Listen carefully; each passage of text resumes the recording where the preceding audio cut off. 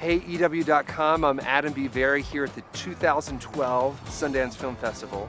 Uh, the first time I came to Sundance was in 2007, and what really struck me about the festival was how different it was from my expectations. I had always read about all these great independent films that were here, but I didn't know what it was like to actually be at Sundance. So here are five things you need to know to survive the Sundance Film Festival. First thing you need to know is attire. It gets cold here. We're up in ski country in Park City, Utah. So you need to dress appropriately. You need gloves, you need a good jacket, you need a scarf, uh, some sort of head covering, and uh, really good, strong boots that can uh, weather thick snow, uh, and of course long underwear. I will not show you my long underwear. You're just gonna have to trust me that I'm wearing it.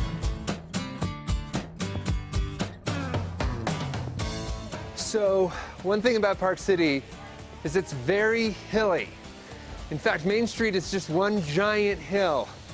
So between that and the altitude, you really got to pace yourself and stay hydrated. Because if you're not careful, you could just be down for the count. Another thing about the Sundance Film Festival is, of course, where to find the stars. Some of the big celebs coming to this year's fest include Bruce Willis, Kirsten Dunst, and Chris Rock. And the best place to find them is kind of really all over because they're in buses and vans going to and from their screenings and different events. So if you're just watching on in intersections like this at Main and Heber, that's often your best bet to find a celeb. That also just happens to be the location of the Entertainment Weekly photo studio.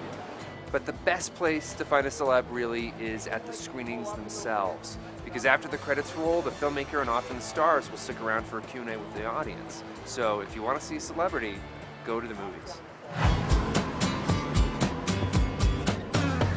So another important thing to know about Sundance is uh, how to get around. There's a huge bus system that is totally free and completely confusing.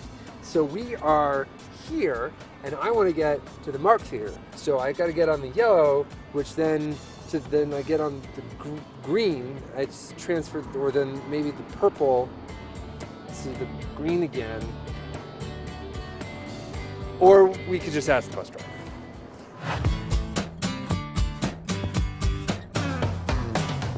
The last thing you have to keep in mind about coming to the Sundance Film Festival is you've got to be willing to wait in line long lines like here at the MARC Theater, and you should show up hours ahead of time to be able to secure your place in line.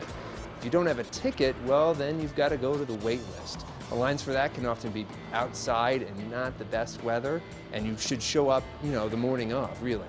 But all of that waiting is totally worth it because by the time when you get into the theater, the movie starts and you get to see an exciting new piece of independent cinema that nobody else has seen.